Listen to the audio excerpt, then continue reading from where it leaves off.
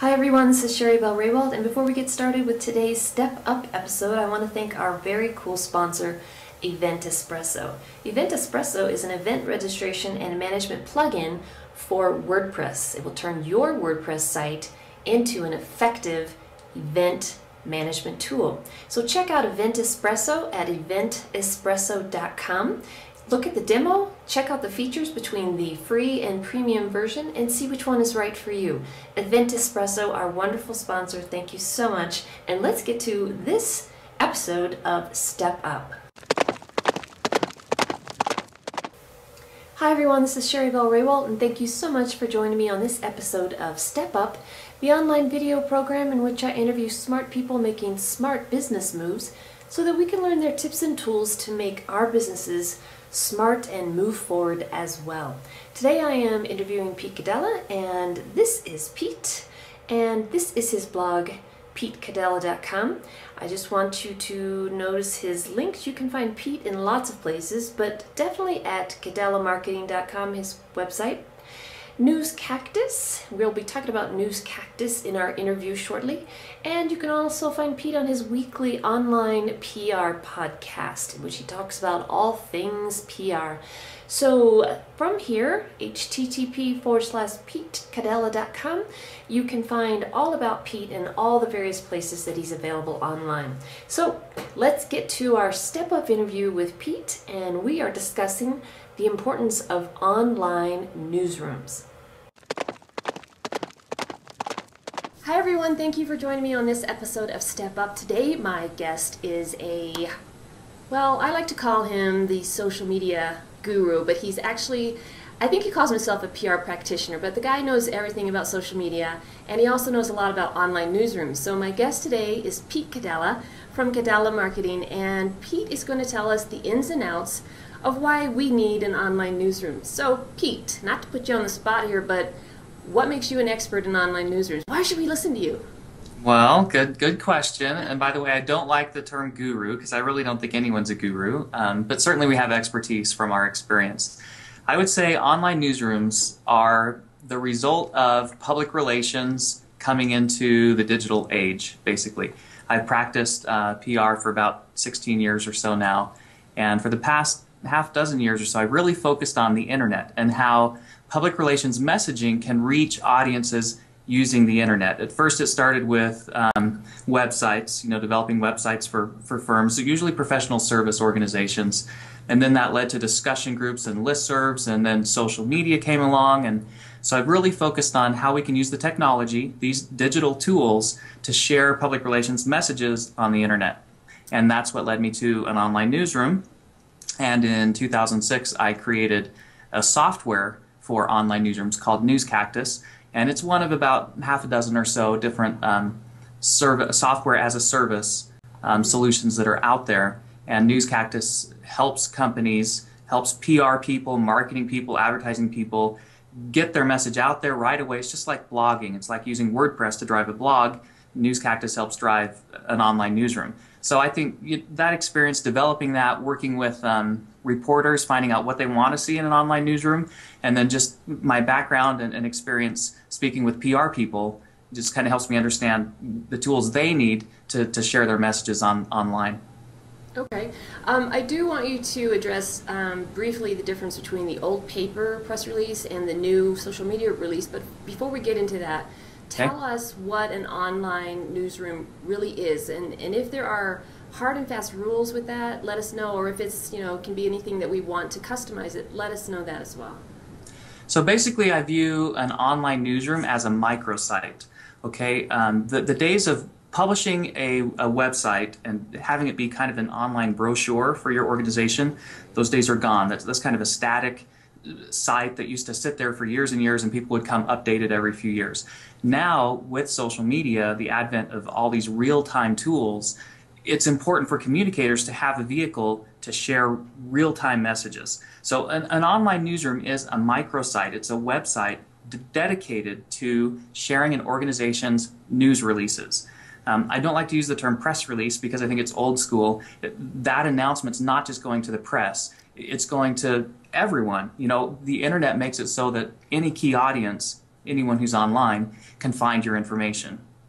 So the online newsroom itself becomes a vehicle through which you share and, and publish your own, basically, you're self publishing your own news and announcements. Now, the goal is, going back to media relations and, and, PR, is that you get journalists who are interested in what you do, what you have to say, who will then follow you in your online newsroom, who will subscribe to your feed, who will interact with you, um, and, and receive those, those news releases either in an RSS reader or in their email inbox. So that's the tool that you want to use for your online newsroom. But again, that's a journalist audience, but with the internet, we're open to so many different key audiences because because anyone who has access can can view your press release.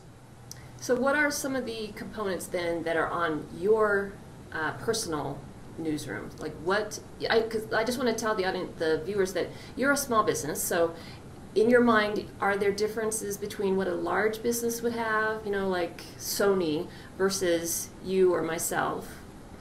Sure. Yeah, I, I, think that's I think that's true. Based on your organization, how large you are, you know, how much of a media presence you have, there, there's going to be different things. But I think the main, um, the, the, fundamental elements that an online newsroom has are news releases and available in a searchable format. That's one of the biggest things that that journalists say is I've got to be able to search and find information I'm looking for. Um, also perhaps archived by year or archived by category. See, now the category part gets into kind of a larger company.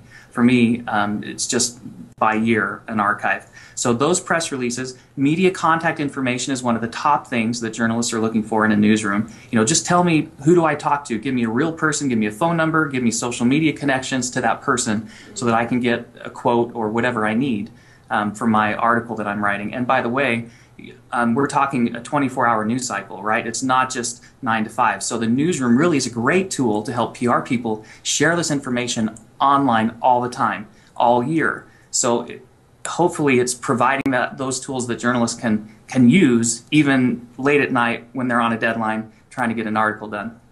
So you've got press releases, you've got media contact information, you also have a section called In the News. So hmm. basically, any any media who's written about you, you want to share that in your online newsroom. It can be video, it can be you know audio from radio or podcasts, it can be PDFs of, of newspaper articles or magazine articles, whatever. So you definitely have an In the News section of your site.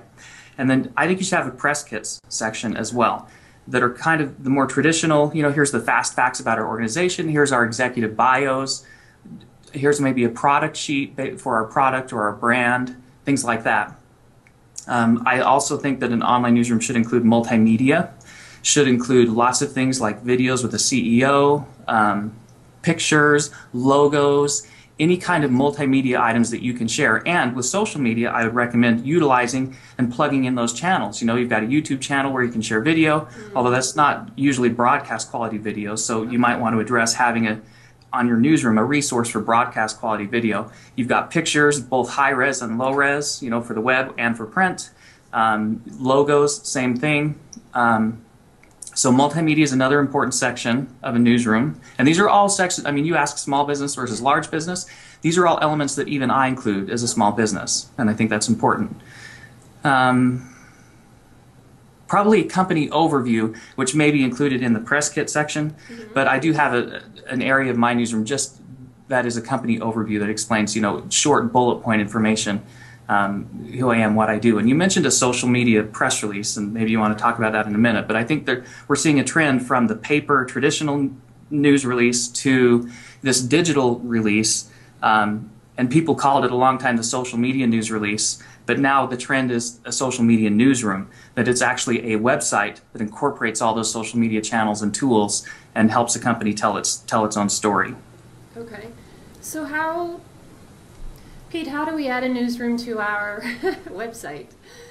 There's, there's a couple strategies. Okay. Um, my feeling is search optimization is most important for things you publish and share online. So, you should have a main website so let's say it's Nike.com, okay? And that should be a portal into all that you have. Your newsroom should be placed in a subdomain of that primary domain or its own separate domain. So the way I would recommend doing it is news.nike.com or nikenews.com.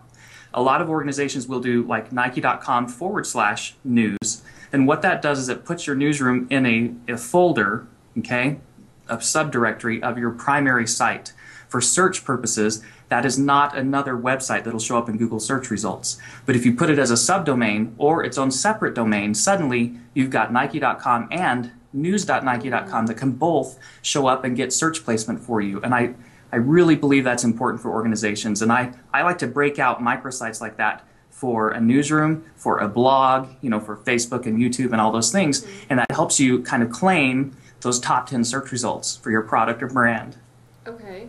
So um, if someone, um, I, I did look, um, I believe, on your website, and you listed, I think, one, two, three, four, five, six uh, hosted online newsroom providers. And Yeah. um, the prices, it seemed to me like, might be a little out of the budget for some really small businesses. So if someone doesn't have a hundred or two hundred dollars a month for a newsroom, what should what should they do? Should they just try to embed their own videos? Should they like what you know for someone just starting out who wants to seem like I'm a legit company, take me seriously?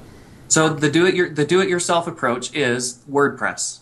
It's customize an installation of WordPress just for your newsroom and utilize those uh, domain strategies I told you. You know, put it as a subdomain or buy a whole new domain. You can make it look and feel like your main site exactly, or you can make it a little different. I don't have a problem with, uh, especially smaller organizations that have kind of a different look and feel, as long as there's a, a theme, you know, brand and brand colors and all those things that tie it together. But I think it's okay to have like a blog and a newsroom and a main website that complement each other but aren't exact, you know, replicas of, of each other. Okay, so then um, those five you had News Cactus, your own, uh, Business Wire, iPress Room, Media Room, TEKgroup, Vocus. Tell us what that kind of service would actually do for us SEO wise, SEM wise. Um, what do we get for that $199 a month? Or even if you want to just focus on yours, News Cactus, just tell us, help us Right, so- understand how that's a wise investment. So, so News Cactus is the, the lowest priced solution. It's $199. Some of the others go go upwards. Last I priced of close to 12, 13, 1400 dollars a month. So kind of more expensive, but in that in that vein, you know, you do get what you pay for. There are more bells and whistles. News Cactus is a more of kind of quick and easy and do it yourself type of thing. There's some tools that we use that the person has to set up on their end. Um, so um, while it does provide all that's necessary, it doesn't have some of the bells and whistles that some of the others. Like if you were to use a, a Business Wire or Vocus newsroom, when you publish a, a news release there in your site, it can also go out through Newswire distribution, you know, through their distribution channels. Um, whereas some of the others, the distribution is simply syndicated through RSS feeds, so people have to subscribe to it. Um, I guess ask me your question again about what I guess what I, you did I'm- versus. I just want you to sort of tell people why investing $199 a month or up is actually going to do more for their business than them trying to like struggle through and perhaps do it themselves. I know a lot of small Okay. businesses try to do everything themselves, and if you can make the case for why even I should be using an online newsroom for which I'm paying, even News Cactus, help me to understand why that's a wise investment. So I like to explain it this way. Um, you know, those people who are homeowners, uh, do you do everything in your home yourself? Okay, are you are you a handyman? Do you do all the fix, fixer upper stuff? Do you mow your lawn? Do you shovel the snow? Do you do the remodeling yourself, or do you hire people to do it? Who know what And- they're doing? Yeah. Yeah, and for a small business owner, it really is the same thing. I mean, can you be a jack of all trades, or do you focus and specialize in how you make money and then bring in experts to help you do other things? So that's really the case for any, I think, software as a service, is that it's plug and play, it's turnkey, it's quick, it's easy, um, and it's based on best practices. You would hope that all these software as a service providers, News Cactus included, are based on things that journalists want to see. They provide all the tools that are there. It's easy for someone to use. Um, start to finish, you know, from, from News Cactus's perspective, you could be up and running within a week, you know, within a few days, really, of saying, I want a newsroom, and then we install the software, give you user, username and password, you start plugging in content, we customize the look and feel of it to match your main website, and you're up and running. Um, if you were to do this on your own, you know, taking WordPress, installing it on a domain, customizing it, you know, you might be a week or two or three, or uh, it just depends on how familiar you are with the tools, on how quick you can be up and running. So I think the argument for using a service, you know, software that's ready to go is just that it's based on best practices. It includes all the right elements. It's ready to go. It's just a matter of paying for it, getting it set up. And that timeline is probably a few days or, or weeks versus maybe months if you do it on your own. And they know the best practices for SEO then. That will actually get me more traffic a lot faster than me struggling through get it. Because I think that's the problem with small businesses and sites is getting those links and getting people to actually traffic your website. So if you do decide to do it on your own, how do, would you promote your newsroom? That, that's great. So links are important. Inbound links are important. If you follow the strategy I recommend and have a main website and a subdomain for a newsroom and maybe a blog and some other social media sites, you are linking to yourself. So right away you're benefiting yourself with this inbound linking, right? Help, helping your SEO. Um, you promote every platform on all the other platforms. So for instance, on my Facebook page, I have a whole long list of URLs that point to all my different companies, all my different websites, online properties. On my home page, I have a long list of here's where you follow me. And you include things like, you know, your little Twitter stream and your, your Facebook like button and all those things that you can do to kind of interlink and promote your own sites on your own platforms. And then you can use social media very effectively, I think, especially Twitter and Facebook um, and YouTube, to talk about what you're doing, to, to tell your story, and then to link in, oh, check out this blog that I wrote on this topic, or check out this news release that we, you know, talk about this product or brand or whatever. So you you you link amongst yourselves, all your sites yourself, and then you also ask your social network. You know, even we haven't talked a lot about LinkedIn, but but LinkedIn groups and discussions and all those things are great places to share links and content to all your different platforms. Okay, so tell us briefly, uh, because I personally don't like press releases. It seems like companies are just sending out stuff just hopefully they're just throwing a lot of crap out there hoping to get noticed. What are your tips then for making sure that the content that someone actually sees on your newsroom is worth reading and is, is actually newsworthy? I think the very most important skill for a good public relations person is the ability to write and to write effectively for the web. And it's different. What I learned in college is, is different from how I write today. I write a press release so that the person searching for that information can find it. Like in the title, I'll put key phrases and keywords that I think they'll look for. Um, and you've got to write for I want it now, quick and easy type of type of an audience when's the last time you looked at a website and read a thousand word article? I mean, you just don't do it. You look at headlines, you look at bullet points, you look at pictures and captions. So actually, a news release now needs to be quick and easy. Um, a social media release will usually include fast facts right at the top, three or four items and then ways that you can interact with the company in, in, social media. So you've got to write a news release, I think, from the perspective of you're a content curator. You are someone who is sharing content and publishing a story with the world that they'll find interesting. And it's not the dry, boring, you know, product announcement, but it's maybe how it made an impact in someone's life or you've got to tell a human story, I think, okay. to be most effective. So a news release in some ways you might think is more like a blog or more like a feature article, but you know you can't make it too fluffy. It's got to be newsworthy as well. So there is a fine line, and and writing is a is a tremendous, um, I think, skill to have in these these days. And do you have a suggestion for um, either a book or a website that would actually help people to become better at creating press releases or news releases? So the book that I've read lately that I that I like the most, it's been a couple years, but it was updated a year ago, um, is The New Rules of Marketing and PR. Just because I think David Meerman Scott makes a strong case for tossing out the traditional kind of tools, especially that PR people use, and focusing on the internet and these and these channels that you can use now to publish and share information. And he talks about gobbledygook yeah. and press releases and just how useless it is. Um, I mean, you can read sometimes a whole press release and not understand what it's about. so I'm always like, especially my technical clients mm-hmm. that, that do kind of IT type stuff, I'm always trying to, you know, I don't want to say dummy down, but I'm always trying to make their content and their story more accessible. Um, and, and it's a struggle because one in particular has a fairly long boilerplate that I said, I think it should be these three sentences and you're done. You know, so it's important, I think, to make things accessible and understandable to, to the average person um, and to tell your story in terms of how others can relate to it. I think that's most important. Okay. Um, I know we need to close this up. So, what are your three, before you give us an assignment, what are your three takeaways? What do you want, the three points you want us to remember most about online newsrooms? I, I think first is it's the most underutilized tool in the public relations business.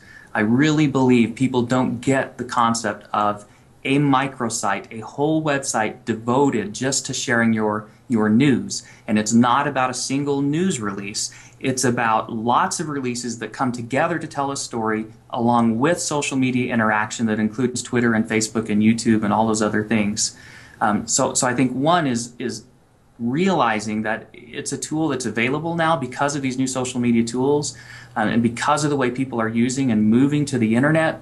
Um, it's a tool that helps you tell your message um, like you could never do it before. It gives you a great a great pulpit from which to preach, basically, and tell your story. I think the second thing is, um, and maybe perhaps supports that, is search optimization. Mm. I think it's very important to look at Google and Bing and Yahoo and look look at all the search engines and know what your keywords are. Okay, use Google AdWords or whatever to put in a few keywords you think people are searching for and see what it returns to you, and then base your content creation on those keywords. I already mentioned press release titles, and same goes for blogs, and same goes for website content. So pay attention to search placement for your people, your products, your brands, your services, your company name, all those things. Know what your keywords are. When, when I speak with people, it's amazing to me. I ask, who has a written set of keywords, 20 to 40 keywords, that guide your online publishing? Less than 5% of mm. people do. So I think that's very important that you understand your keywords because that will guide how you create um, these things.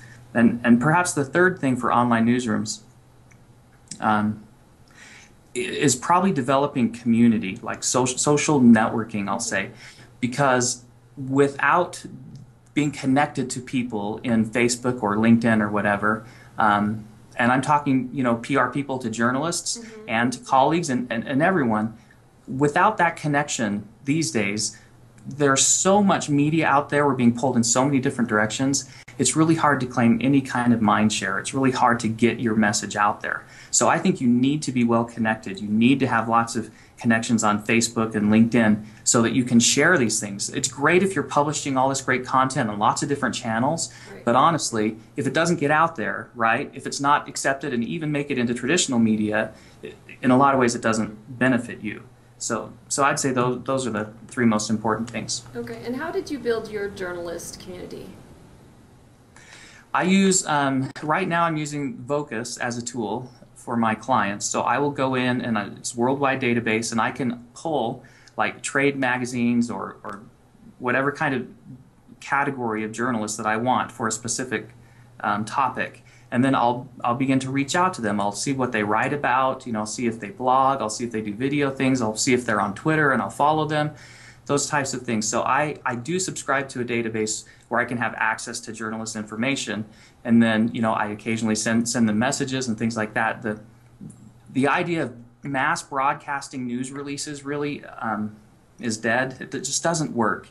So you've got to publish the content yourself online and then develop relationships with key people. And we're not talking a hundred; we're talking dozens, right? Key people who can help you get that message out um, through through traditional media. I think that's the new media relations. So you got to have probably some kind of tool that allows you to collect that information, or you, you're smart about it you use Twellow, for instance, to go look for people on Twitter you know, who are writing for a specific publication, and then you build those relationships. It's still, even though we have all this technology, it really is still about relationships. It's about telling stories and building strong relationships that help basically spread the word. Okay. Great. I knew you would have a fabulous interview with me. Thank you so much. So now here's the scary part, Pete. Okay. Give us an assignment that we have to complete in at least a week or maybe 10 days. Hopefully, I'm trying to get people to do these assignments by the time the next interview comes out. So make it easy, but make it something that will actually push our business forward if we actually do it. So I, I don't know what the other assignments are, but this is what I would say should be kind of the benchmark and the baseline, and that is you do an online search audit for your products or keywords. Go to Google, Bing, and Yahoo. And so for myself, I would search for um, Pete Codella or Codella Marketing or News Cactus, and I would see how I place in only the first page, the top 10. So we're only talking, you know, 10 search results per search engine, and then give yourself a score. You know, do I get 8 out of 10? Do I get 1 out of 10? Whatever it is. Mm-hmm. That will help communicators understand what they need to do and what they need to share online to basically claim more of that search result um, on, on each of the, the pages. So do an online search audit, see how you place in Google search and the other search engines, and then make a plan for creating new content to claim more of those search results. Okay. Okay. I'll do that. so, Pete, if um, someone watching this is like, hey, this guy knows what he's talking about, I just want him to handle my newsroom or I want him to do my PR, how can people reach you? Um, probably the easiest way is through petecodella.com. There's an online contact form and a phone number. Um, you can reach me in lots of lots of different ways: LinkedIn, Facebook, Skype, email, contact form on my website. Um, but they could check out CodellaMarketing.com, PeteCodella.com, or NewsCactus.com. And also, I'd encourage them to check out the OnlinePRPodcast.com. And about each week, I'll record a new episode um, with my web partner, Code Green in Salt Lake City, and we talk about how we can use these digital tools to share key messages. So it's really all about this conversation that you and I have had. Okay. And for anyone watching, I will put all of those links in the notes, and I will also link to all of those newsroom providers that Pete actually suggests on his own um, website. Um, so he doesn't just tell you to go to News Cactus. He he definitely gives you all the options that are out there and and offers them um, and if Pete's endorsing them, I know they're a good deal. So, Pete, thank you so much. I know you're really busy, and I really appreciate your time today. You're welcome. Thank you, Sheri. All right. See ya. See you later.